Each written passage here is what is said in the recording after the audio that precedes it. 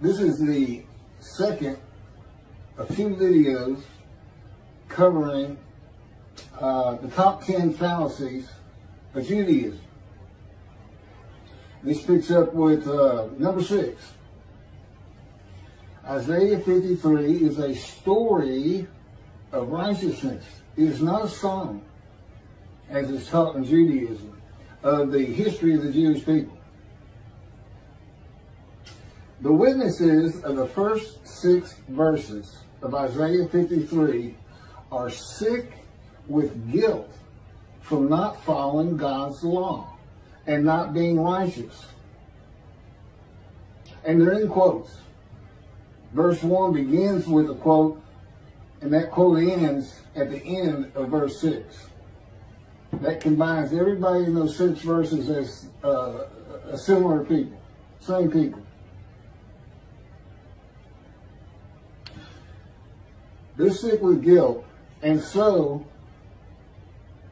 from not being righteous.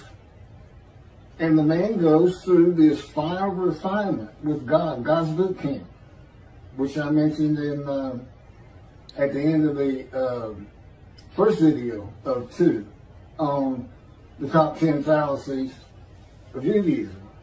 He goes through this fire of refinement for them to become God's righteous servant who makes so many righteous. An example is, he was wounded for our sins. He is. But not in the sense Christians believe in some sort of human sacrifice. He is wounded by God in the power of God to make him humble to God and the Jewish people, to take his self-will from him, and to, so that he'll be suitable um, to God for God's purposes as a prophet. To remove, to remove the fury as his spirit. Which we, we saw Ezekiel say, I went in bitterness and the fury of my spirit in the hand of God. And we know Moses had the same kind of temperament. His story pretty much begins with he became so angry at a man that he killed him and getting into fights. And to be presentable, to go to those who are sinning and who are sick from it, sick with guilt in these first six verses. They are the many made righteous. See, it's a story. I mean, he's, he's pretty much like them. But he rises to the crown of, of, of God's righteous servant. through this fire of refinement. That's how he's prepared. And taught at the same time. Taught the scripture. And bring them to observant Judaism, which removes their guilt. And that's what Isaiah 53 10 about. He offered himself for guilt. Offered myself to go to the fire of refinement. To go to them and remove their guilt. Okay, just because I went through the fire of refinement does not remove their guilt. This is reality. This is the real world. It's because it's God's righteous servant. If they recognize me, and that's how the first verse starts. Who can believe our report?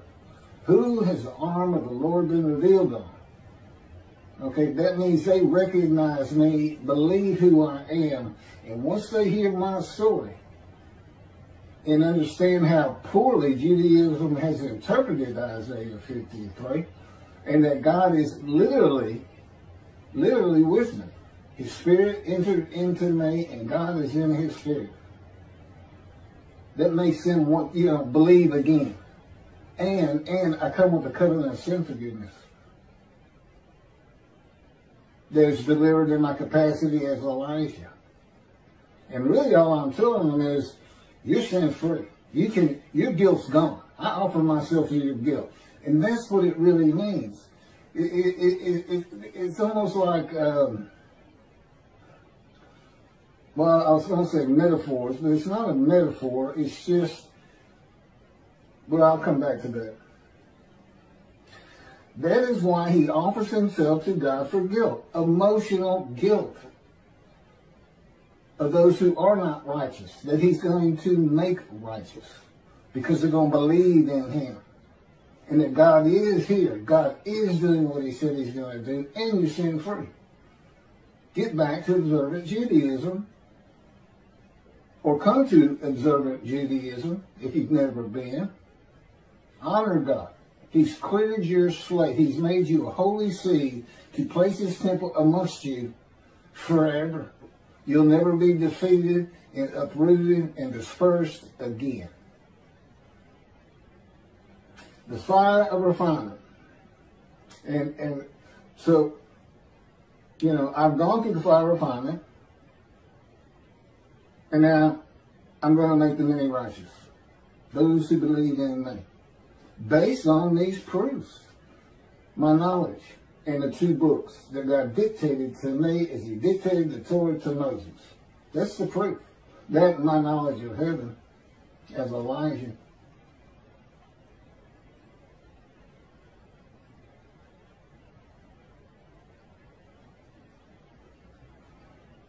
Isaiah uh, 53 was written in such a manner that you cannot put it together if you are not going through it. No one ever has. God had it written that way by Isaiah. You can't figure it out. And you don't even realize Ezekiel goes through the same thing. That's the go by that God put in put into the Tanakh. To show you this is this is how it's been done before. These are the same words being used. Ezekiel is punished for what? Well, ultimately for the sins of the houses of Judah and Israel. That's what he's told. Uh, but, but really what's happening is God's just making him angry, making him furious and bitter, being told he's got to suffer their, their, their punishment. it's not really what's going on. God's just preparing him. I have been in God's fire refinement for 13 years. He spoke to me when I was 50 and I'm 63 today. during which he taught me the scripture and how to interpret Isaiah 53 and its association with the day of the Lord. You can find these two books, Isaiah 53 and the Day of the Lord, at Keith McCarty McCarty.wordpress.com. And the second book, and this book was, was written so you can see how my life fits me into the verses of Isaiah 53. It's called The Life of God's Righteous Servant of Isaiah 53 at the same WordPress site. It's my life. But he dictated it to me. He said, this is what I won't put down. And, and basically, again, it's to show you who I am, but it's also to show you how I fit the verses.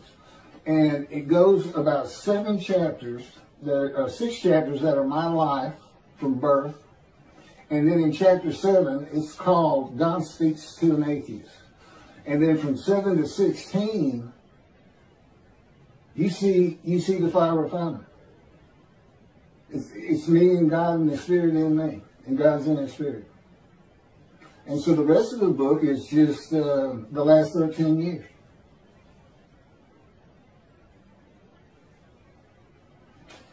And I am the only man who has ever lived, including Jesus, that fits every verse. God orchestrated my life to be sure of it, to be a man of suffering, familiar with disease and affliction and disease, well, crushed with disease. Okay, the day of the Lord. Judaism, this would be number seven of the top ten fallacies of Judaism. Judaism teaches that in the Messianic era, the world is perfected and sin removed. Basically, utopia, heaven on earth. In the day of the Lord, he comes not to destroy sinners, remove sin, or require repentance, but to forgive the Jewish people. He comes with the covenant of sin forgiveness.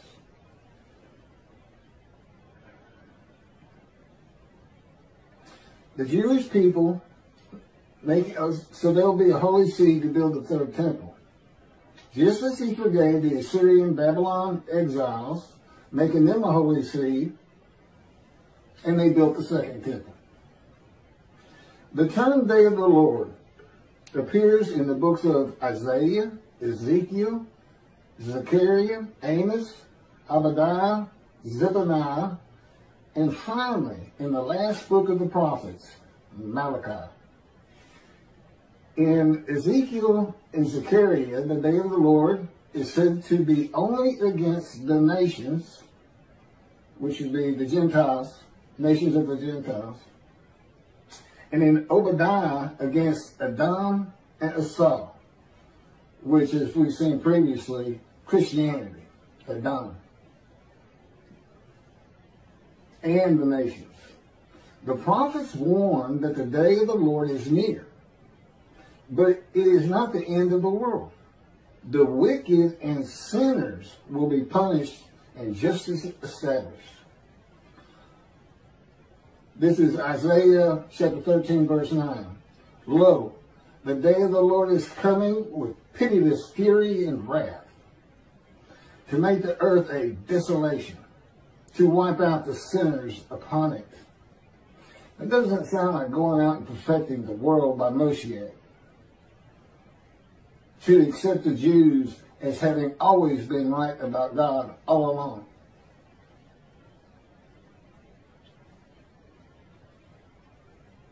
This is Ezekiel chapter 30, verses 3 through 5. For a day is near, a day of the Lord is near. It will be a day of cloud, an hour of invading nations. A sword shall pierce Egypt, and Nubia shall be seized with trembling. When men fall slain in Egypt, and her wealth is seized, and her foundations are overthrown. Nubia, Put, and Lud and all the mixed populations in Cub, and the inhabitants of the allied countries shall fall by the sword with them. This is Joel chapter 2, verse 12 through 13. Yet even now, says the Lord, turn back to me with all your hearts and with fasting, weeping, and lamenting.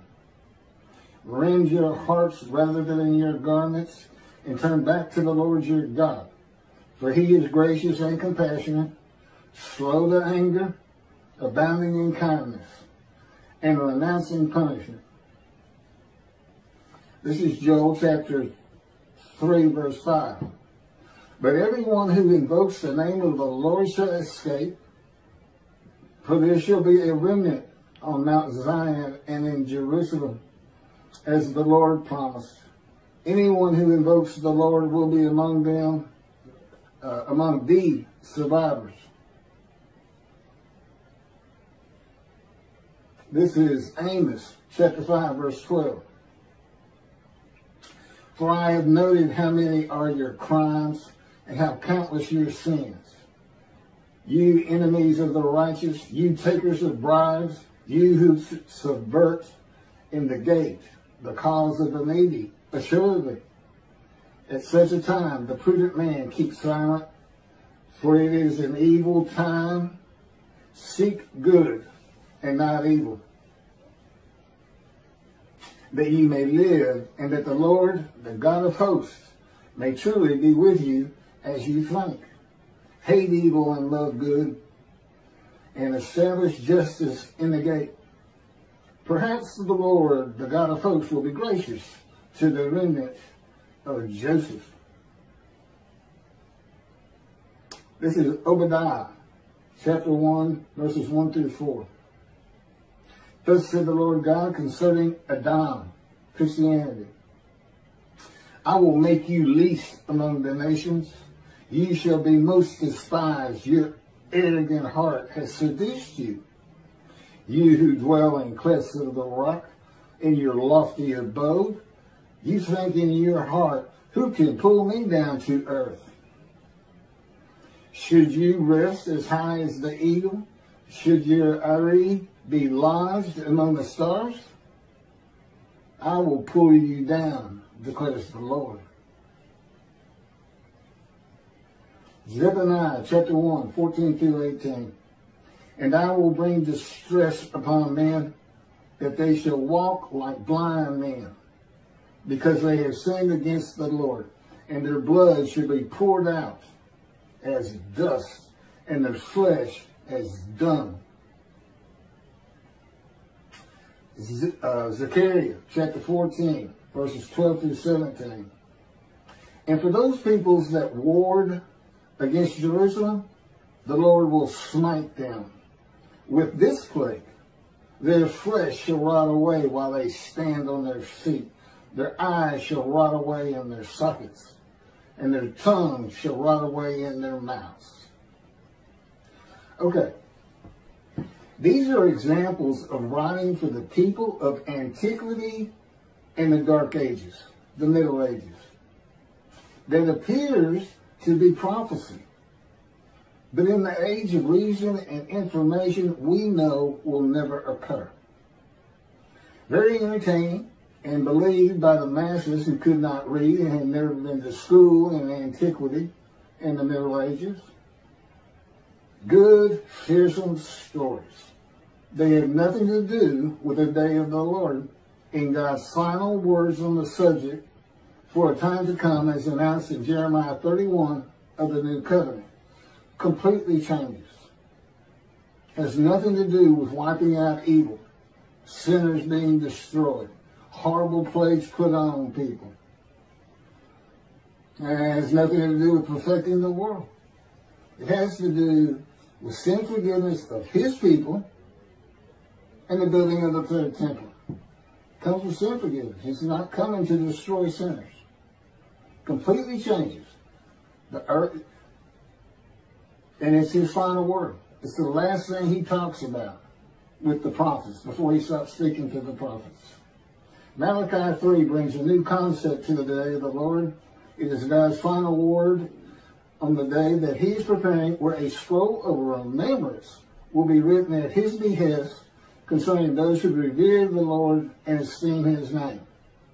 He does not address the nations, the Gentiles, but only Israel and its people. Because I'm coming back to return to my temple that I'm going to place amongst you eternally. You'll no longer be the taunts of nations. You'll never be defeated, dispersed again. The land will bloom. I'll bring the rain.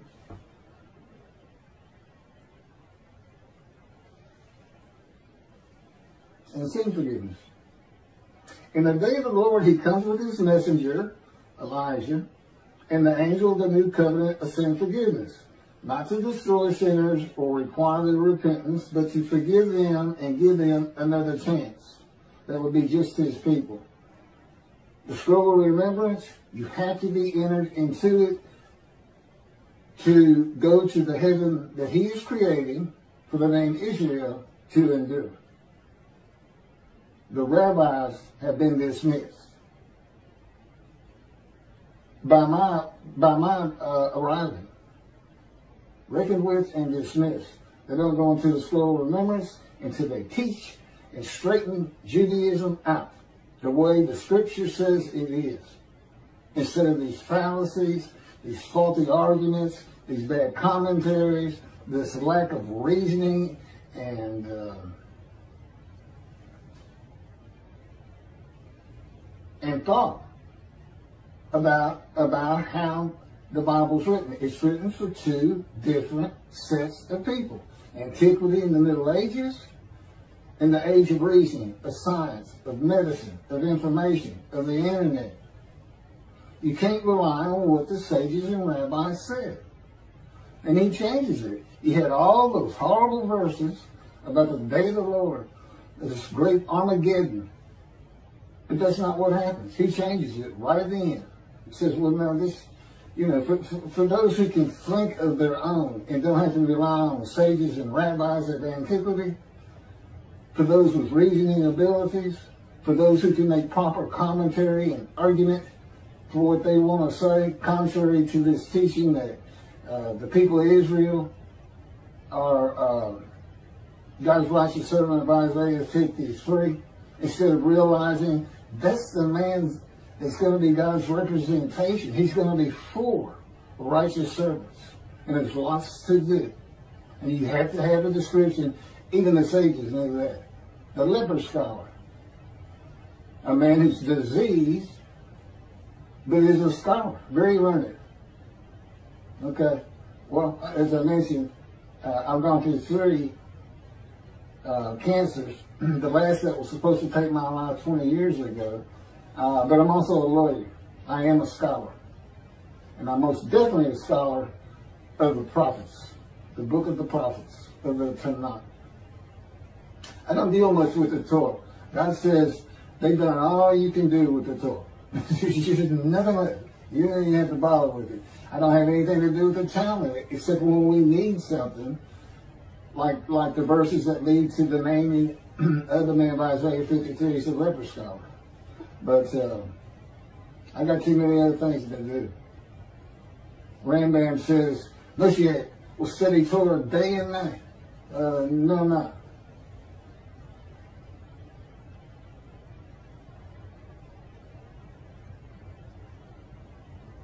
Okay, so in Lord, it's not to destroy sinners or require their repentance uh, because he forgives everybody.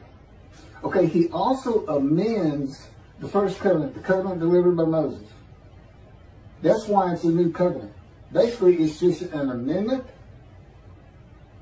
and an addition. That's the sin forgiveness. And here's the amendment. He amends the first covenant, Malachi 3, to be mindful of the teaching of my servant Moses, whom I charged at Horeb with laws and rules for all Israel, rather than strict compliance of the first covenant by, by all the Israelites. In Malachi 3, he, he shows you. Not everybody's going to heed him, even though that's what Jeremiah 31 says. Everybody shall heed me. Well, he, he's granting sin forgiveness. He, that's what you would expect. But we also know the reality is that's not going to happen. That's why there's also a scroll of remembrance. Those who heed and revere him, and those who do not. So he's recognizing that despite how uh, the new covenant of sin forgiveness is written, and that everybody heeding him, and everybody will have Torah on the heart. That's who, you know what that means? Everybody's been, has a clean slate. Everybody is sin free. But don't fall to the evil inclination. Get back to observant Judaism. I mean, I'm supposed to make the many righteous. Well, they're all righteous. But they got to follow up on it. And they got to keep that slate clean.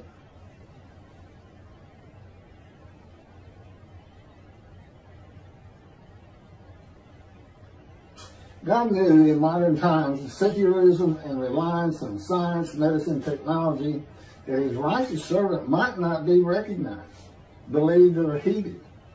Again, 53 has in it, he was shunned, despised, and accounted plagued. And that's already been going on with me for quite some time. And I'm sure it will continue for quite some time.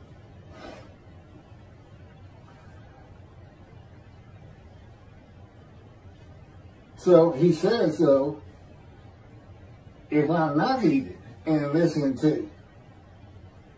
When he does come, which basically just means if you don't get my temple built, utter destruction is coming to the land. He says, I'm going to bring utter destruction, but he is his creation.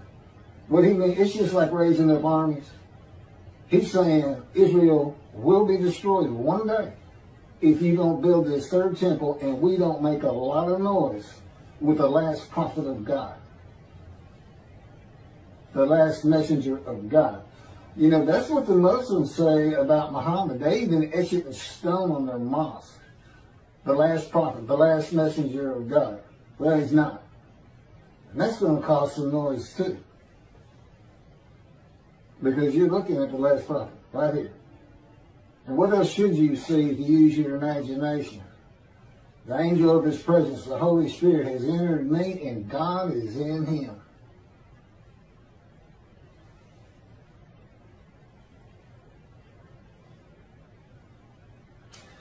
Okay, I think this is number eight of the top ten fallacies of Judaism.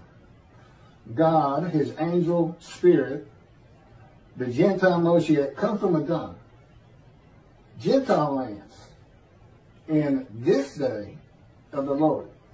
Okay, this is going to explain better than I, uh, the previous uh, seven fallacies how it is Edom is associated with Christianity in Gentile lands. Judaism does not teach that Moshiach comes with God from Gentile lands, or that Moshiach is a Gentile. Which you think anti-missionaries would really like to get their hands on. Because if you believe, and you should, that he's a Gentile, well, what do we know? Jesus is a Jew. He can't be the man of Isaiah 53 for many reasons. But this is just another one. It's part of the reason uh, God comes with the Gentiles, as a matter of fact, because he knew what the Gentiles were going to do.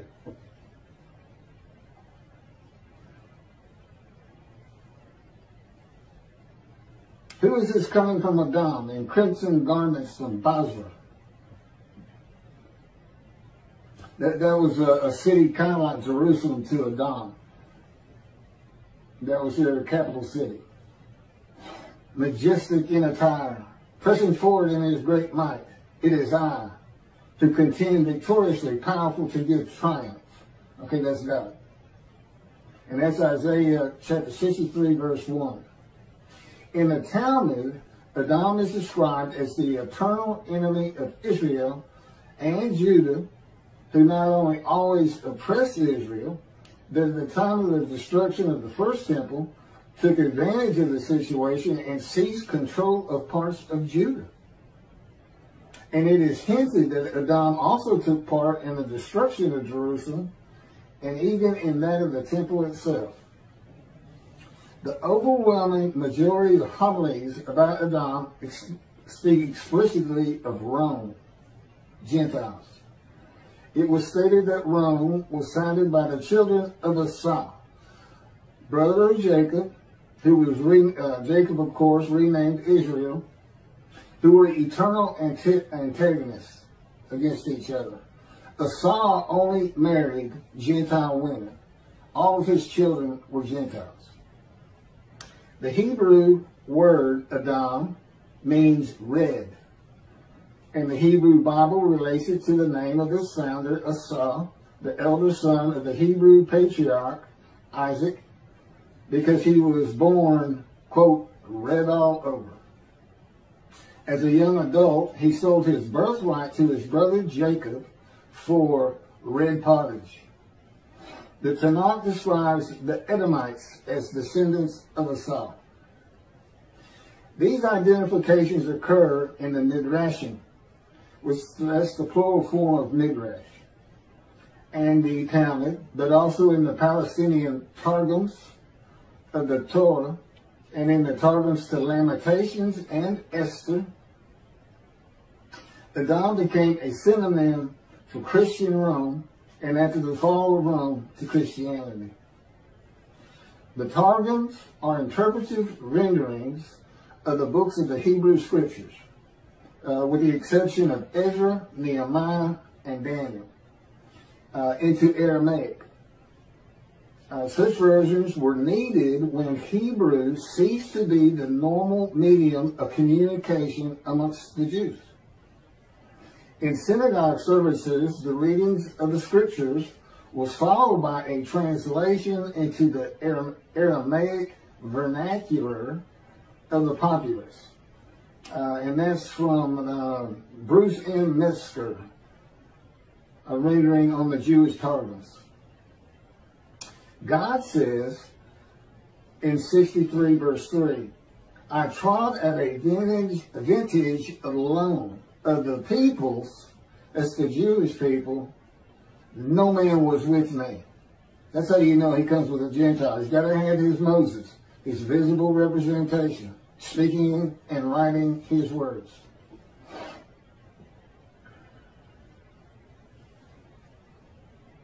No man was with me. I trod them down in my anger, trampled them in my rage.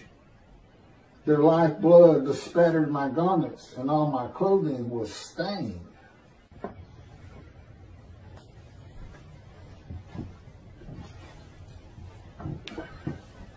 Okay, picking back up.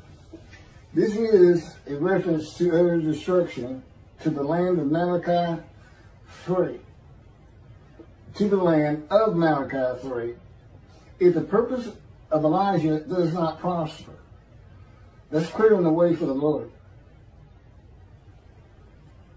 Because the Jewish people will not recognize his prophet. The Lord coming from Edom is mentioned by many of the prophets in the Bible. The Lord was not allowed to pass through Edom in the Exodus with Moses. They didn't, they wouldn't let him come through. They had to go around. And the Jewish people.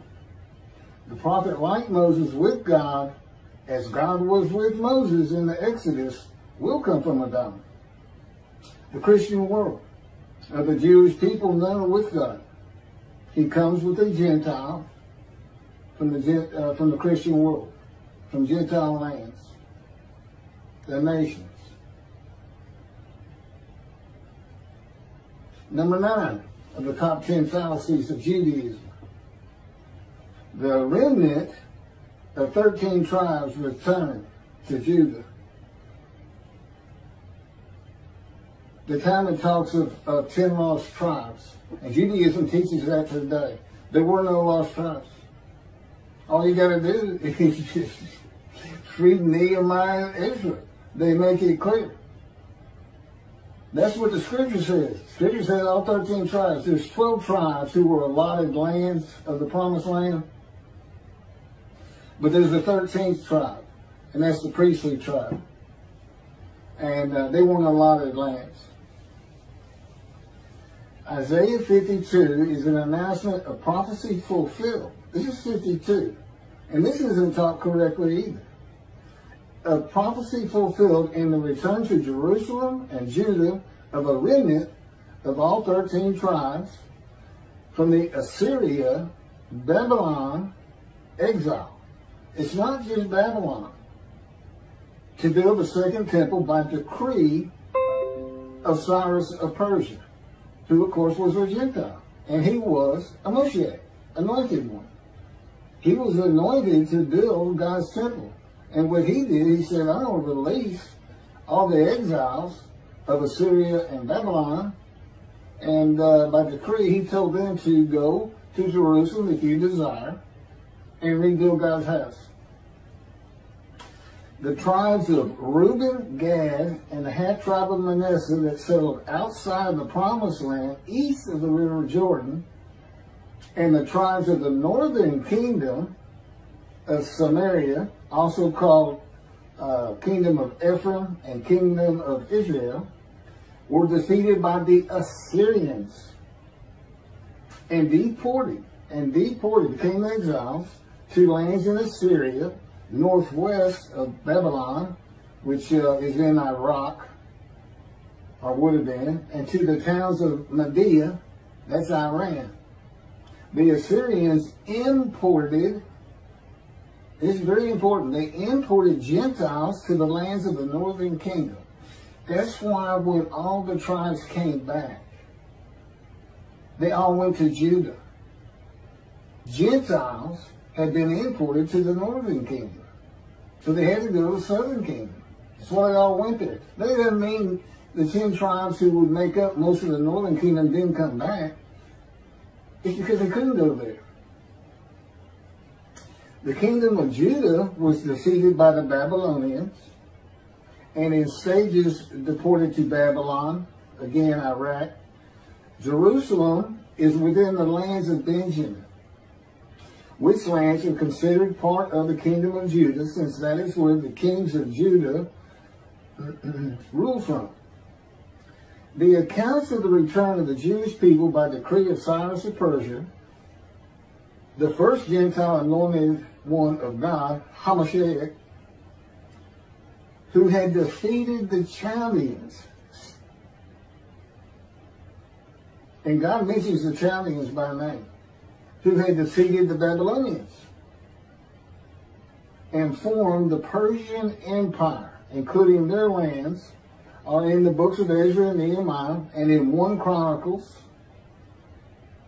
Hamashiach Cyrus addresses all the 13 tribes in his decree. This is in quotes. This is from 2 Chronicles, chapter 36, verse 2. Thus said King Cyrus of Persia, The Lord God of heaven has given me all the kingdoms of the earth, and has charged me with building him a house in Jerusalem, which is in Judah. Any one of you of all his people, the Lord his God be with him, and let him go up. Remnants of all the 13 tribes of Israel returned to Jerusalem and Judah the tribes with allotments uh, in the northern kingdom could not return to those lands. Gentiles who had been imported to the lands of the northern kingdom were settled there, many of whom tried to stop the building of the second temple. This is Ezra chapter 3, verse 1. When the seventh month arrived, the Israelites, being settled in their towns, the entire people assembled as one man in Jerusalem. The Israelites. Well, if just Judah and Benjamin returned, you can't say Israelites because Judah and Benjamin aren't the Israelites and cannot assemble as one man Israel. They can't. All 13 tribes came back.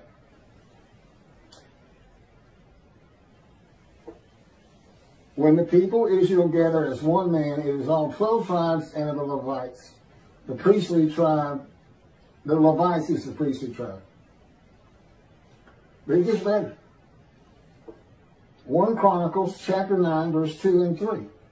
The first to settle, and basically the tribes who had been in the northern kingdom, they had to go get land and settle their own homes and towns uh, in Judah and uh, that would include Benjamin. The first to settle in their towns on their property were Israelites, priests, Levites, and temple servants, while some of the Judaites and some of the Benjamites and some of the Ephraimites and some of the Manassesites settled in Jerusalem. Well, right there, you can't say 10 lost tribes because it says Manasseh and um, Ephraim came back. They make it eight, eight tribes lost, four came back. But even more importantly is this. Ephraim and Manasseh were not lost tribes, as many believe from writings outside of the Hebrew Bible. It is said in writings by sages and rabbis that 10 of the 12 tribes of Israel became lost and did not return to Judah to build a second temple. There never were lost tribes.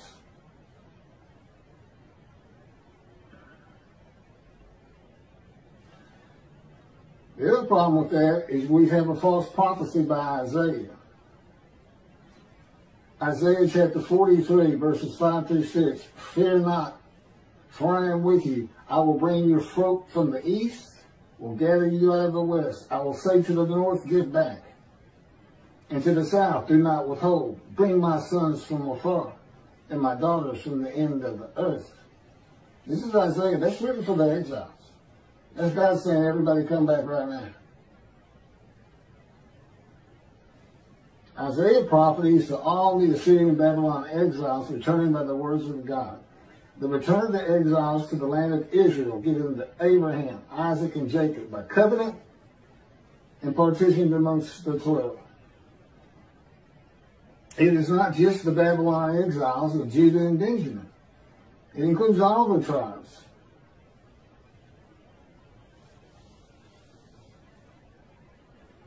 In Isaiah chapter 43, God says, verse 14, Thus said the Lord your Redeemer, the Holy One of Israel, For your sake I send to Babylon, I will bring down all her bars, and the Chaldeans the Chaldeans shall raise their voice in lamentation.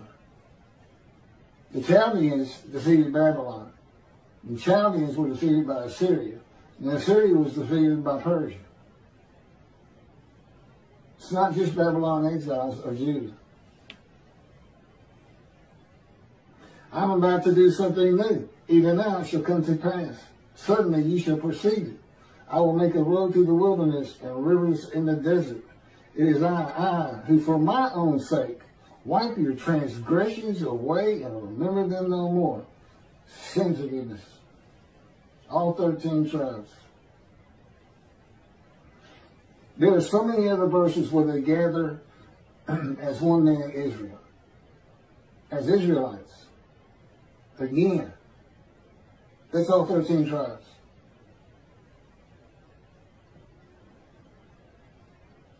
And of course, this account in Isaiah is repeated in the book of Jeremiah for the Jewish people of the dispersal of the Roman Jewish revolts to return and the land blings again and the ruined cities and Jerusalem are rebuilt. God's prophecy of a time to come that also includes sin and forgiveness.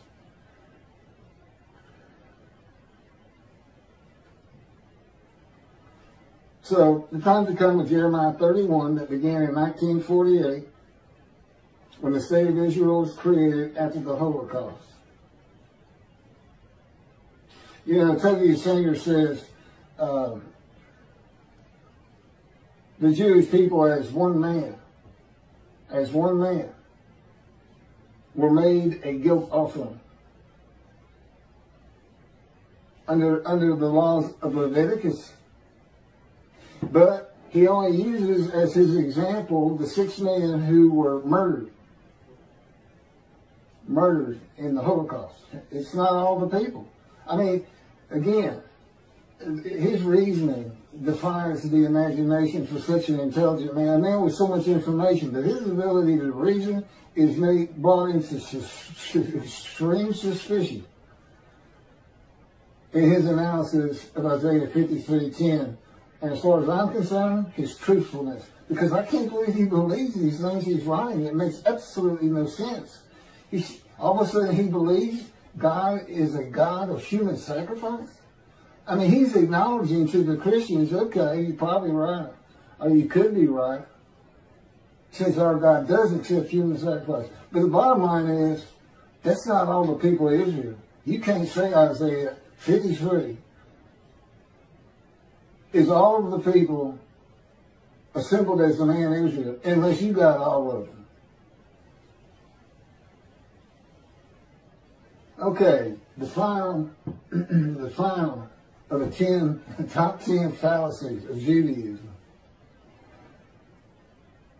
Okay, the Spirit of God alighting upon God's servant David makes him the anointed one. That's what Moshiach means. Anointed one. Ha is, means the, so you can say Ha Moshiach, the anointed one. Okay? But it doesn't say anointed to do, to do what? What's he anointed for? God's anointment is not with oil. The anointment is with spirit. When the spirit alights upon you and enters you, that's the anointment. And God is in the spirit. But to do what?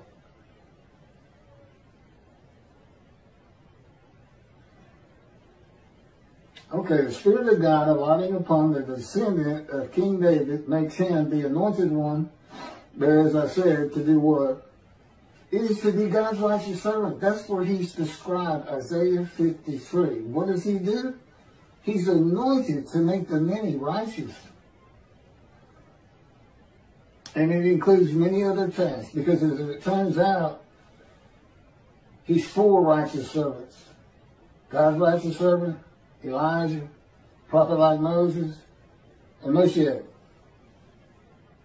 the descendant of King David. And that you can find those descriptions in uh, Jeremiah 31, Ezekiel 34 and 37, and Malachi 3. Descriptions of, of, of tasks that he's anointed for. Deliver covenants, clear the way for the Lord. Uh, one of the purposes of Elijah is to bring the Jewish families to or back to Judaism being mindful of the teachings of God gave Moses at Horeb of his laws and commandments for all Israel. Which, of course, is the amendment, and there's an inclusion. Uh, the new covenant never ended. I mean, the first covenant never ended. It's just an amendment with an addition of sin forgiveness. It's basically a confirmation. Amendment, confirmation, uh, supplementing, And of course, mindful means not strict compliance. Makes it a little bit easier on those who, who just uh, can't be ultra orthodox. They just can't do it. It's just too much. Ultra Orthodox can take that for what they want. Everybody's going to have to come up with their own, every branch of Judaism. What is meant by mindful? What does that mean? How does that change what we do right now? It's an affirmation and confirmation by declaration of God that He is the God of the Jewish people and the Jewish people are His chosen of all the earth. You know, Judaism doesn't teach anything on the day of the Lord. It completely conflicts with the Messianic era. They just simply do not go together. And Judaism doesn't teach of the day of the Lord. Um, or, or even, they don't even know that prophets are men and divine beings because they don't recognize oh, the Holy Spirit as a person.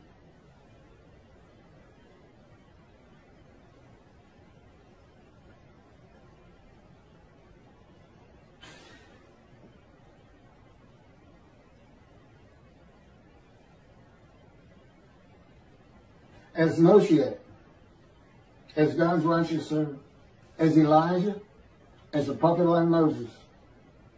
I am a man in divine being. And this is what, you know, it's, it's, those are all his names. Basically, God has come to me and said, I've got things for you to do. Uh, but I got to whip you into shape. I'm going to put you through fire refinement, my boot camp. I mean, it's great to hear those names, but they don't really mean much other than the fact I'm a man in divine things, and each of them was two. If you know what you're looking for, you'll find Moses was a man of divine beings. You'll find David was a man of divine beings. You will find Elijah was a man of divine beings. It's there. Once you know what to look for, you can find it. And of course, I point them out in the book. That's all great names aside. Nothing gets done if you're not a man of divine beings, because no man can do these things that, quote, Moshe is supposed to do.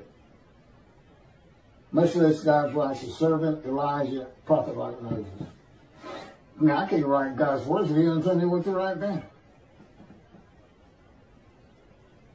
You say, well, how could Judaism not know these things? God didn't want you to know. It's my proof. It's my proof. Uh, so there's three persons with this, within this human body. But guess who's in control of the ship? And it's not Keith. And it's not even the Holy Spirit. It's God. He can control my thoughts, my words, my physical movement. And he does. And he can speak to me if he wants to. And he, I can only say those things that he would want me to say and in the manner he would want me to say it. What kind of emotion to show. He controls emotions. He said, I created emotion, Keith, and he's proven it to me. I mean, you can be in the greatest mood in the world, and in an instant, you can be in a deep depression. You can be in a deep grief over losing a loved one. He's shown me more than one time. And it's fearsome. It's fearsome. It's not, it's not something that's easy to go through by any stretch of the imagination. But it does change you. I am not the man I was when we started. And if you read the book, The Life of God's Righteous Servant, you can see it. You can see what my life was until I was age 50. And then see what it's like right now and who I am now. It's very interesting.